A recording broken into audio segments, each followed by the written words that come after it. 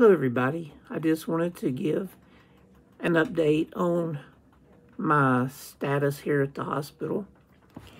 So I talked to my doctor today. Oh, before that, if anyone doesn't know, I was put in the hospital because I'm at the end of my life with my heart and uh, LVAD and pacemaker. They're just not, they're just not doing it anymore. And um, my doctors at Atrium in Charlotte have said that they're um, they're not going to deal with me anymore. They told me they was going to put me on palliative care, which is basically a death sentence.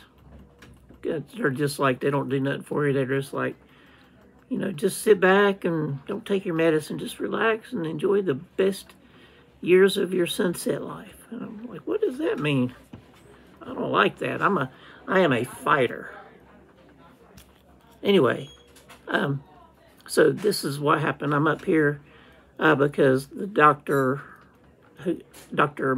Milano, who is probably the world's best heart surgeon in the world here at Duke University, um, I came up here for him to interview me, and I didn't even get to go home. He put me straight in the hospital, and I've been here for 17 days, and um, he told me this morning that he's not going to let me go home, that I've already had surgery on my chest to get infection out of my chest, which has come out of my LVAD. They they have burned it out of me and all kind of uh, uh, antibiotics and stuff. And um, he's going to let that heal up what my surgery. And he said, and then he's going to keep me here. I'm not going to get to go home. He's going to just put me straight in for a heart transplant.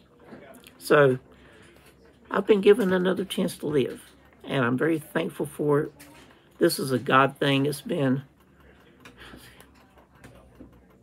it's been 19 years in waiting. That's almost half my life.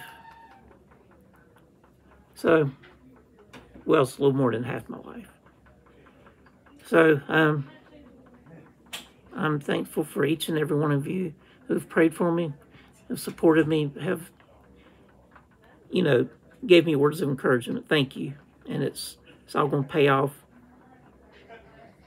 God willing, I'm going to be back as as a new person. I'm, I'll even have a new birthday since they'll be putting a new heart in me.